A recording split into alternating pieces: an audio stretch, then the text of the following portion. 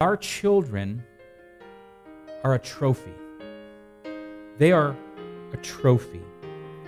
Psalm 127 3 says, Lo, children are an heritage of the Lord, and the fruit of the womb is his reward. One guy said that the psalmic portrayal also calls children a reward, not a curse, not a tragedy, not an accident. They are the expression of God's favor. It is thrilling sight. It is a thrilling sight to see your children through the lens of Scripture as His trophies. Oftentimes I hear this that, oh, I've got my kids to think about. They say it so pathetically. It should be, I have my kids that I have to think about. It's not, boy, look at I have a I have a, a, a ball on my leg and I gotta drag my kids around everywhere I go. You say, these are my trophies from God. This is this is my reward. So number one, your kids are a trophy, and number two, your wife is a blessing. Now I could say some things about some husbands being a blessing, potentially. It's not found in the Bible. I could make something up. Here's the reality. Your wife is a blessing. Your wife is a blessing. Proverbs 18:22 says, Whoso, fi- whoso findeth a wife findeth a good thing and obtaineth favor. That's a blessing, by the way, of the Lord. In the world, I have heard so I, I have heard so many times people say, "Yeah, but I gotta I gotta deal with my wife." No different than the kids' statement. I gotta go home to my wife.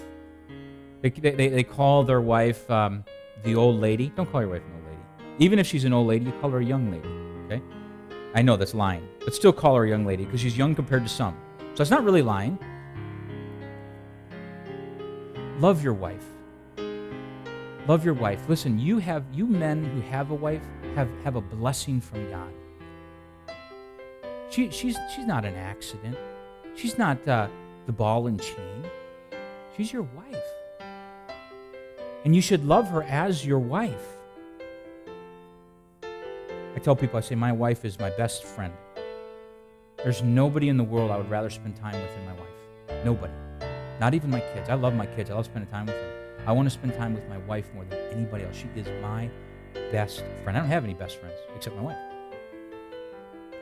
Where I go, she goes, generally speaking.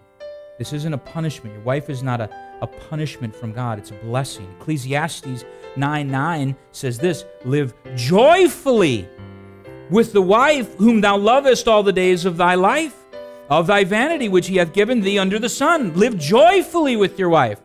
How many times is there a, a conflict between a husband and a wife? And I say, that's a tragedy.